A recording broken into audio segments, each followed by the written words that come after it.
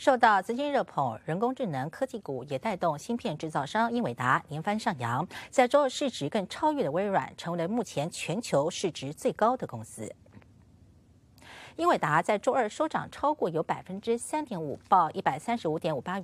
美元，再创纪录新高，市值更达到了三万三千三百亿美元。英伟达在今年以来这样的一个股价已经上升超过了一点七倍。这一轮的升浪呢，也是五月份公司派发了第一季度成绩表之后开始的。而自二零二二年的年底以来，英伟达的股价已经累升超过有九倍。另外有统计就显示，不计以及拆股的影响呢，英伟达内部人士今年以来一共出售大约有七七十七万股的公司股份，这样一个价值超过有七亿美元。